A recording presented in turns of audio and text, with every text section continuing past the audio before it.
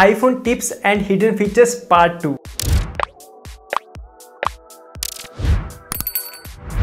so you know your iPhone is tracking you आपका iPhone आपको track कर रहा है if you don't know go to setting and go to privacy then go to location services here scroll down and go to system services and here you can see significant locations and uh, यहाँ पर आप देख सकते हो आपकी जितनी भी history आपके लोकेशन की वो आप यहाँ पर पता लगा सकते हो। सो so, इस फीचर को चाहें तो आप ऑन भी रख सकते हो ऑफ़ भी कर सकते हो इस डिपेंड ऑन यू अगर आप इस फीचर का फ़ायदा उठाना चाहते हैं तो इसे ऑन कर दें और यहाँ पर आप इसकी हिस्ट्री भी क्लियर कर सकते हो।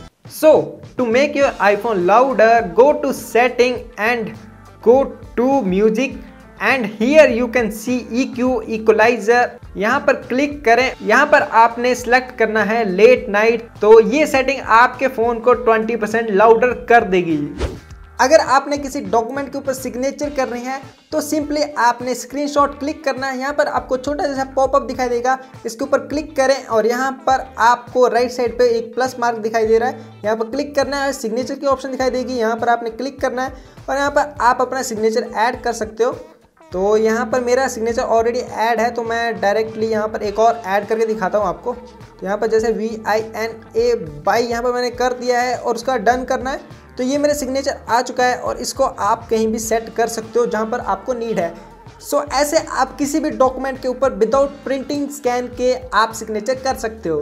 तो है ना काफ़ी कमाल का फीचर अगर आप वीडियो रिकॉर्ड करना चाहते हो और सामने वाले को पता ना चले उसका कि आप वीडियो रिकॉर्ड कर रहे हो तो आपने वीडियो रिकॉर्डिंग पर लगा देना है उसके बाद नोटिफिकेशन बार को नीचे कर देना है और उसके बाद रिकॉर्डिंग होती रहेगी और स्क्रीन पर आपको नोटिफिकेशन बार दिखाई देगा तो इससे सामने वाले को पता नहीं चलेगा कि वीडियो रिकॉर्डिंग हो रही है। सो so, अगर आपकी गर्लफ्रेंड आपको तंग कर रही है बार बार कॉल करके तो आप ये कर सकते हो आप कॉल उठा लो उसके बाद बात करते करते एकदम से फ़्लाइट मोड ऑन कर दो।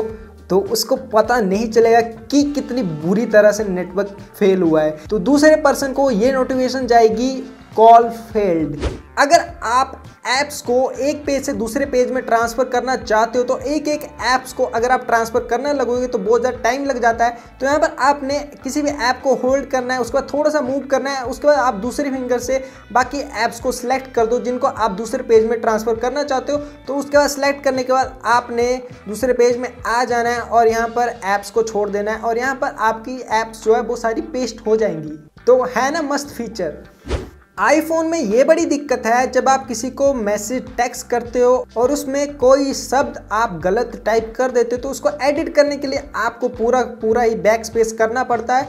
पर यहाँ पर आपको पूरा बैक स्पेस करने की ज़रूरत नहीं है। आपने स्पेस बार को होल्ड करना है, उसके बाद आपका पॉइंटर माउस की तरह काम करेगा। उसके बाद आप किसी भी वर्ड को इजीली एडिट कर सकते हो। सो मुझे कमेंट करके बताना कि किसे ये बात पता थी और किसे ये बात पता नहीं थी।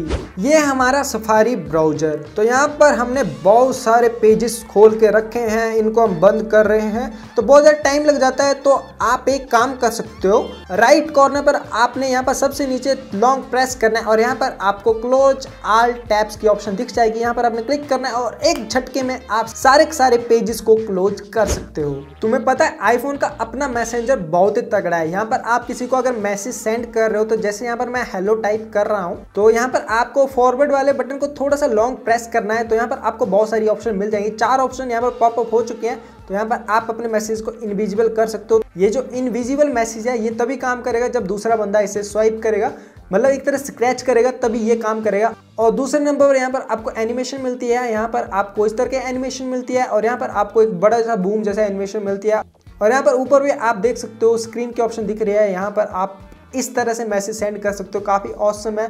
और यहाँ पर स्क्रीन पे आप राइट स्वाइप करो तो यहाँ पर आपको और भी मस्त मस्त फीचर मिल जाते हैं। किसी को हैप्पी बर्थडे बोलना हो तो यहाँ पर आप बलून्स वगैरह उड़ा सकते हो और यहाँ पर किसी को सरप्राइज़ करना हो तो इस तरह के मतलब आपको किसी को प्यार भरा, दिल भरा मैसेज आई लव यू भेजना है तो यहाँ पर आप दिल भी भेज सकते हो। इस तरह से आपको बहुत ही मस्त मस्त डीजे वाले और ऑसम दिवाली वाले बहुत ही तरह के मैसेज सेंड करने में बहुत सारे फीचर मिल जाते हैं। सो अगर आप इसे यूज़ नहीं करते थे तो यूज़ करो और मज़े करो। ज़्यादातर आईफोन यूज़र ये करते हैं कि मल्टीपल ऐप्स खोल लेते हैं, फिर एक ऐप से दूसरी ऐप पे जाना हो तो पहले तो स्वाइप अप करो और उसके बाद दूसरी ऐप पे जाओ, काफ़ी लंबा हो जाता है। अगर आप नीचे से डायरेक्ट स्वाइप करोगे तो आप डायरेक्टली एक ऐप से दूसरे ऐप पे जा सकते हो। तो इस फीचर का भी आप यूज़ करो और बाय द वे अगर आपने मुझे इंस्टाग्राम पे फॉलो नहीं किया तो फॉलो कर लें। वहाँ पर हम आपस में बात भी कर सकते हैं। जैसा कि आपको पता है आईफोन हमें सिक्योरिटी के मामले में टॉप क्लास सिक्योरिटी प्रोवाइड करवाता है। तो अगर आपका फ़ोन कैमरा यूज़ करे तो ऊपर आपको ग्रीन लाइट दिखाई दे रही होगी।